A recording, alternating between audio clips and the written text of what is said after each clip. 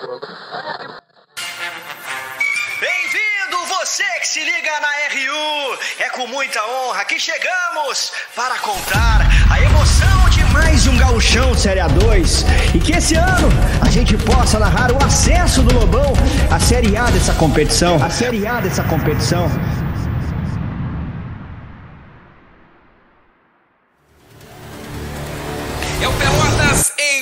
É de recuperação. Depois de perder as duas primeiras rodadas na estreia contra a equipe do Internacional de Santa Maria e depois de acabar perdendo para a equipe do Monson no último final de semana, o Lobo vem até a Rainha da Fronteira para se encontrar com as vitórias. Um novo comando, sob o comando de Ariel Lanzini, novo treinador do Pelotas, pelo menos até este momento.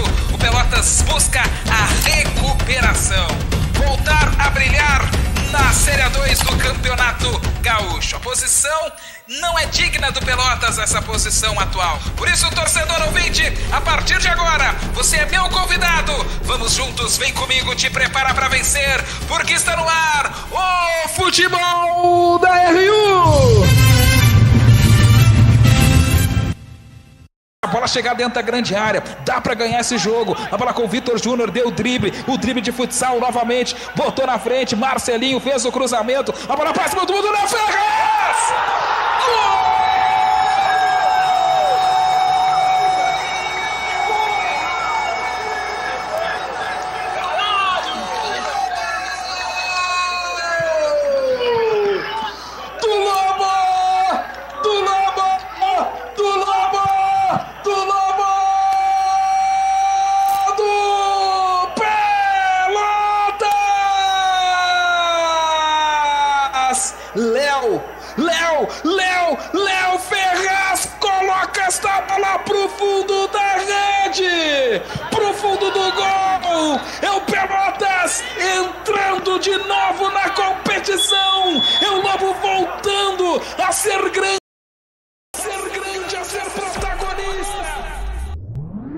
Com Vitor Júnior, botou a bola para Fernando Júnior, pro Valver Frank, entrou dentro da grande área, deu o drible, vai bater essa bola, golaço!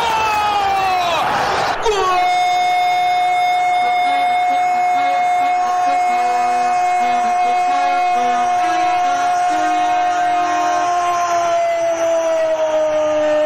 pouco. Vem mudança aí na equipe do Lobo, botou na frente, olha o Ramires, faz Ramires!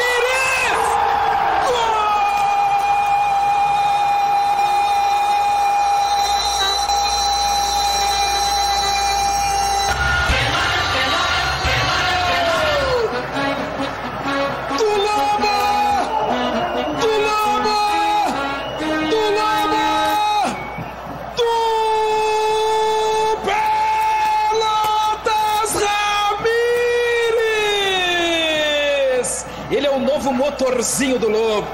Ele é o novo motorzinho do Lobo. Um volante que marca, que aparece na frente, que finaliza com qualidade. Esta jogada estava sendo já ensaiada desde o primeiro tempo. Ramires, golaço, 2 a 0 para carimbar uma partida de gala do Lobo, para carimbar uma vitória estupenda do Lobo cima de um adversário forte que é a equipe do Aimoré. Olha o Valver Frank, perna direita, jogou pro Varley. De costas pra marcação, fez o giro, vai bater, bateu, tá feito!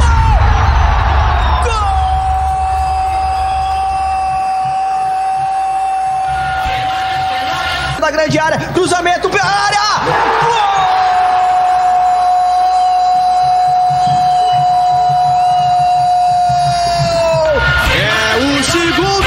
Pelotas, o lance é bom, o lance é bom. Valver Frank, cara a cara, vai fazer, bateu de cavadinha!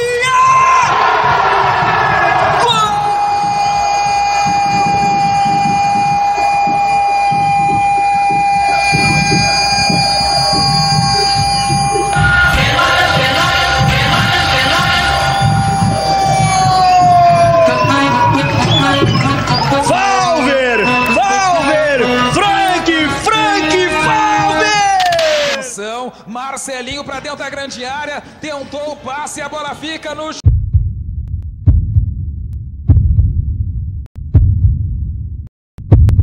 chute, a bola vai entrar.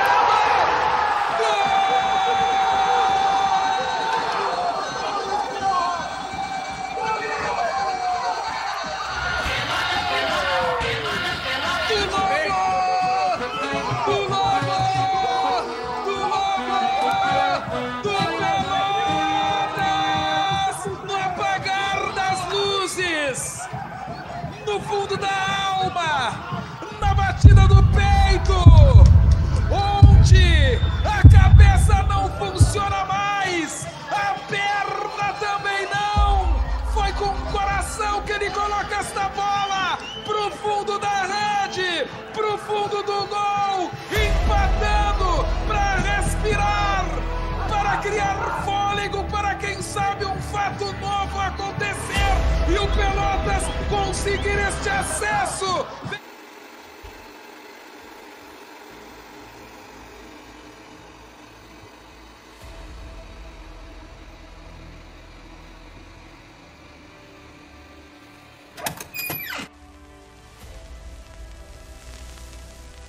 De volta para o futebol, a gente vai ver agora o time que está vivendo uma maldição aí dos pênaltis. Nos últimos sete que bateu, errou todos. Bateu no poste!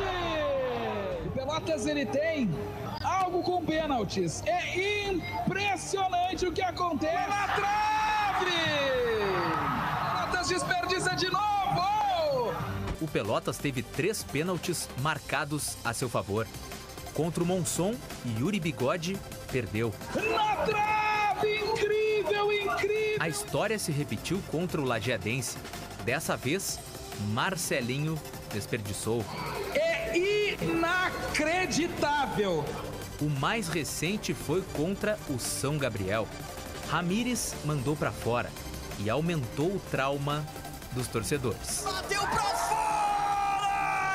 No ano passado, nos pênaltis, o Pelotas foi eliminado pelo Monson, apesar do goleiro Jackson ter pegado duas cobranças. Walter, maior contratação da temporada, errou. Partiu pra bola, pegou o goleiro! Foi o primeiro de uma sequência de quatro pênaltis perdidos. Jacone, Escobar e Everton deram fim ao sonho do acesso ao gauchão. Um filme repetido para o torcedor, que já havia sofrido com a eliminação também nos pênaltis nas quartas de final da divisão de acesso em 2022, em plena boca do lobo. Três pênaltis que teve também, eu, eu, eu sou o batedor oficial e eu não tava nenhum dos três pênaltis, né? Então é uma coisa que, que eu sempre falo com o Ariel, eu gosto dessa responsabilidade e espero que também, se tiver oportunidade e tiver outro pênalti no, no, e eu possa estar no jogo.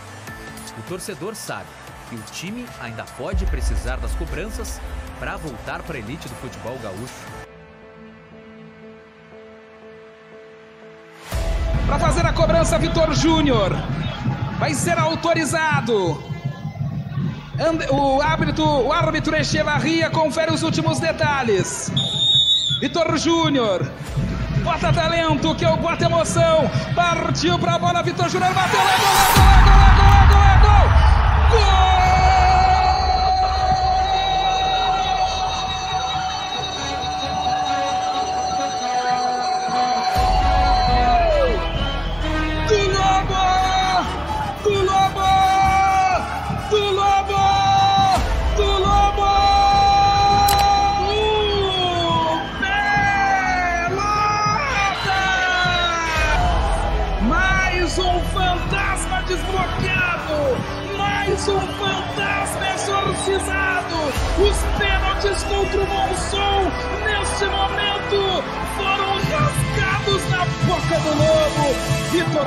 Júnior, equipe do Internacional, essa bola pela linha de lado. Vamos chegando a 19 minutos, 19 minutos. É o tempo deste segundo tempo. Placar segue de 2 para a equipe do Internacional, 0 para o Pelotas. Tá na bola ali o Helder, dominou, soltou a bola, passou pelo marcador, não passa, passou sim. Lá vai o Helder, soltou a bola para o Falver Frank dentro da grande área. Faz Marley, pegou o goleiro no rebote, gol!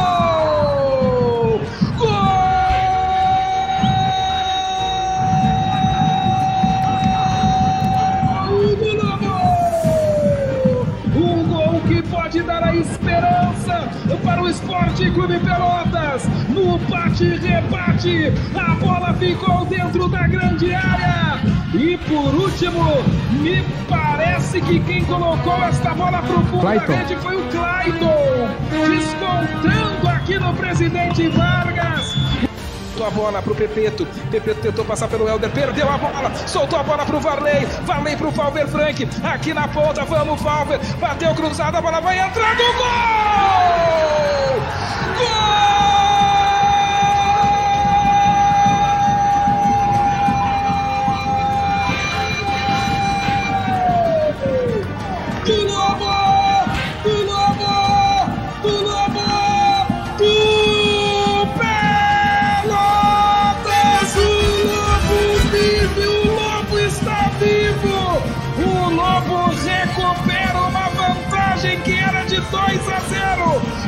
Equipe do Internacional de Santa Maria. O Lobo se mostra gigante, se mostra guerreiro e vai colocando os pés na próxima fase. Que seja uma virada de chave, que o Pelotas consiga segurar este empate ou quem sabe virar, mas mostrou atitude. E aos 27 minutos, o pulso pulsa, pulsa e pulsa muito Wesley Pulsa e pulsa demais, Marcelo. É a qualidade de um meio-campo que eu falei que tem. Uma qualidade que o Pelotas demonstrou dentro de oscilações dentro dessa competição, mas que faz com que o Pelotas ainda siga vivo, ainda siga com esperança de conseguir essa classificação à próxima fase. Agora uma jogada pelo lado direito de ataque, ela cai no pé do Faber Frank, ele vem pela linha de fundo, faz o cruzamento rasteiro, Clayton, camisa número 20, ele entrou para decidir, ele vai no carrinho e coloca ela pro fundo da rede, faz o segundo dele no jogo, o segundo do Lobo, o Lobo empata o jogo aqui no Presidente Vargas e volta a estar na zona de classificação à próxima.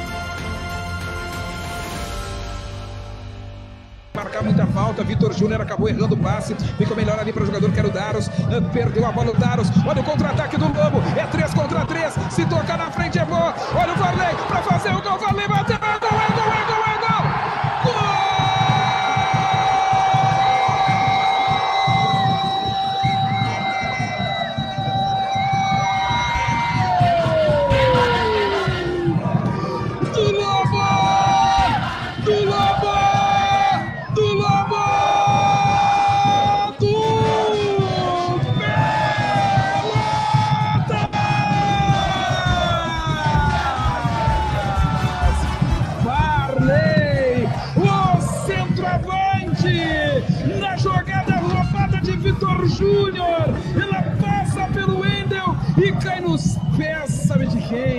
Centroavante, do Varley, e aí ele coloca esta bola pro fundo da rede, pro fundo do gol, abrindo o placar na boca do Lobo, fazendo a alegria da galera. O Lobo larga na frente, o Lobo gigante, o Lobo forte, o Lobo vivo, o pulso segue pulsando na boca do Lobo. No gol de Varley, o Pelotas abre o caminho. Já já, porque o Pelotas está chegando. Olha o cruzamento, subiu o Varley. A bola passou, é para fazer Valver Frank. O segundo, Cristiano bateu, é gol!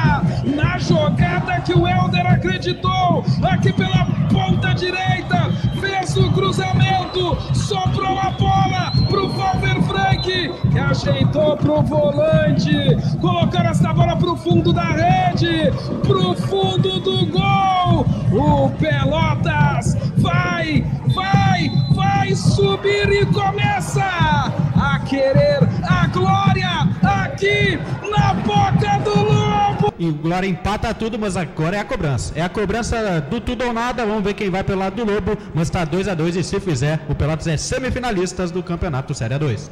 É a hora, é o jogo, é a bola do acesso. Léo Ferraz. Léo Ferraz. Quem tinha que ser. É a bola para chegar no jogo do acesso. É a bola da tua vida, Léo Ferraz. É a bola da tua vida, Léo Ferraz. Contigo, milhares de torcedor do Esporte Clube Pelotas. Capricha, garoto. É a bola da tua vida. Partiu, Léo Ferraz bateu. Gol!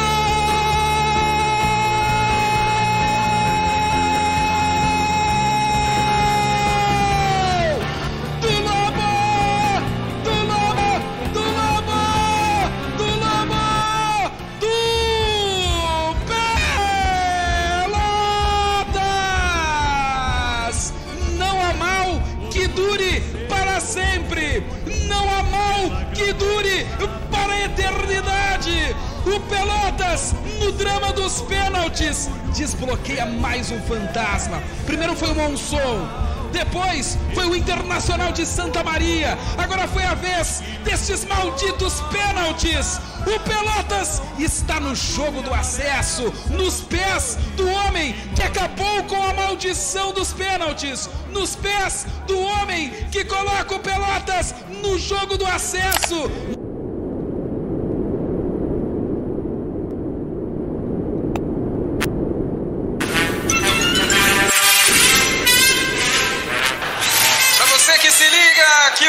Universidade, a emissora esportiva da cidade. Falamos direto do Presidente Vargas, onde logo mais iremos escrever a história junto com o torcedor do Esporte Clube Pelotas, junto com os nossos ouvintes, em mais uma grande decisão.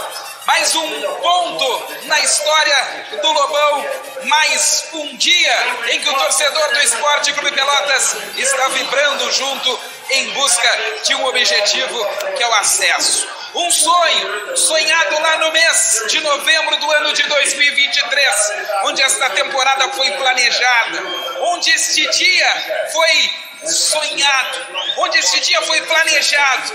Finalmente chegou o dia. Chegou a hora, chegou o momento em que o torcedor do Pelotas tanto esperou o dia do jogo do acesso.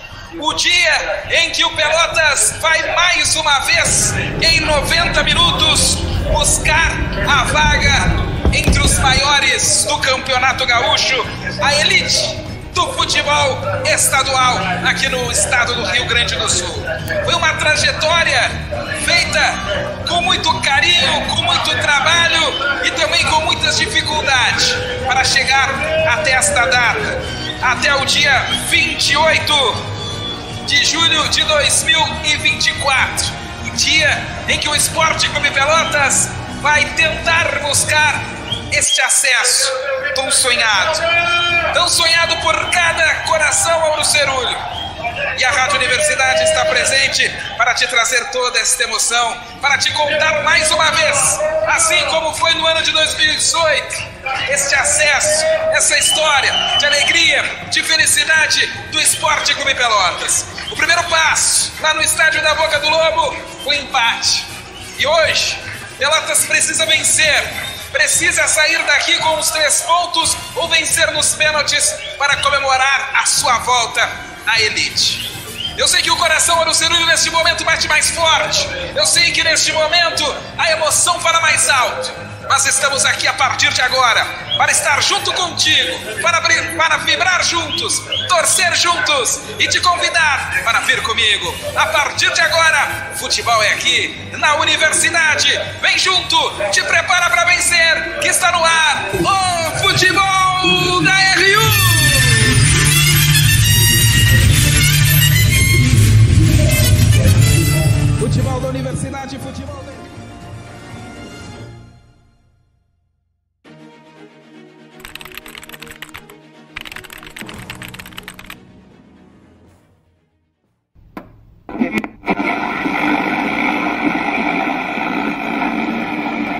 Pegou, deu vantagem, David Cunha, ainda o Krieger ganhou a bola, soltou pro Falber Frank, ele tem o Varley, olha a velocidade, botou na frente, soltou para Marcelinho, lá pela ponta esquerda, dominou Marcelinho, tenta puxar essa bola para dentro, botou pro Varley, lá na ponta, vamos Varley, capricha garoto, entrou dentro da grande área, bateu!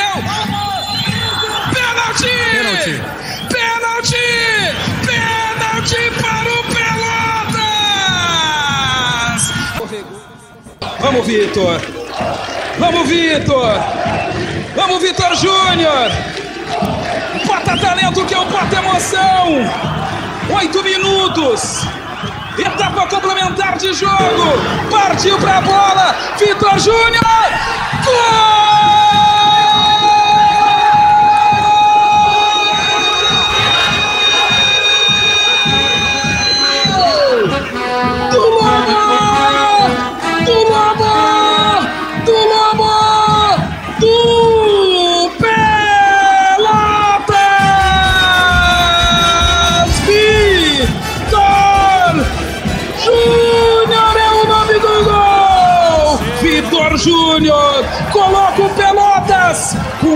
Primeiro pé, com o primeiro pé no Campeonato Gaúcho de 2025.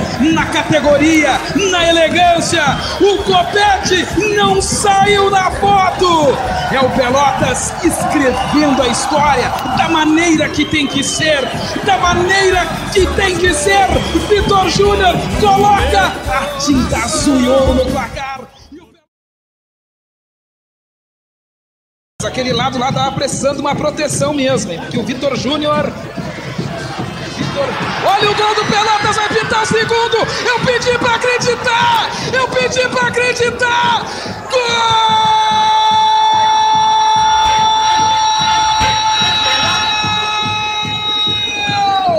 Acesso da Série A em 2025! Gol!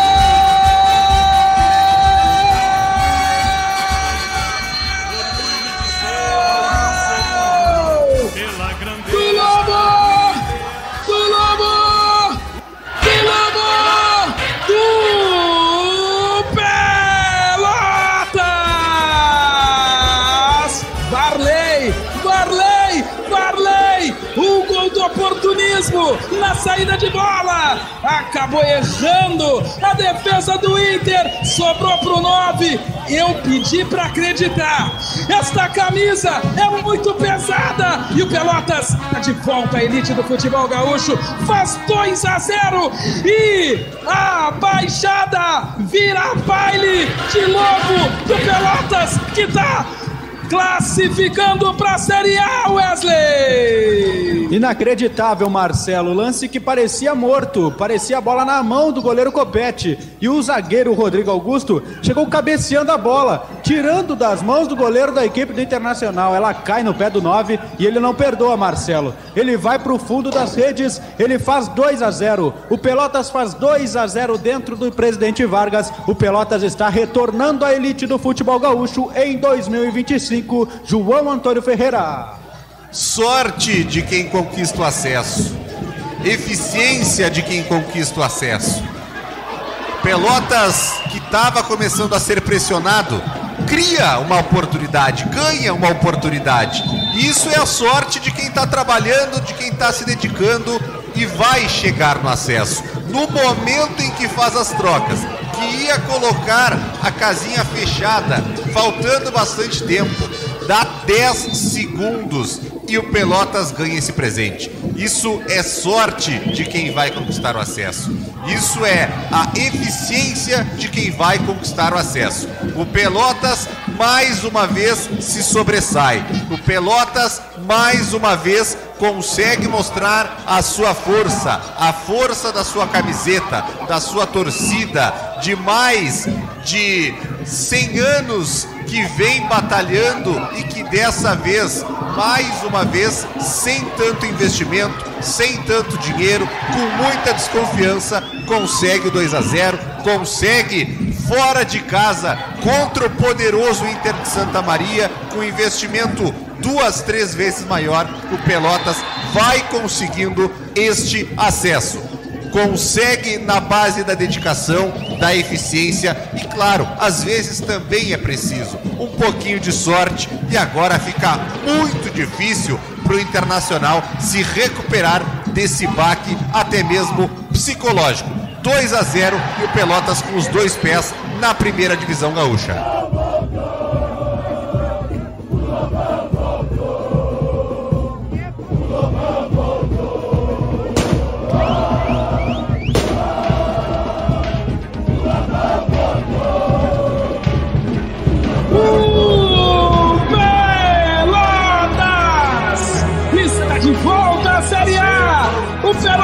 Está de volta à elite do futebol gaúcho.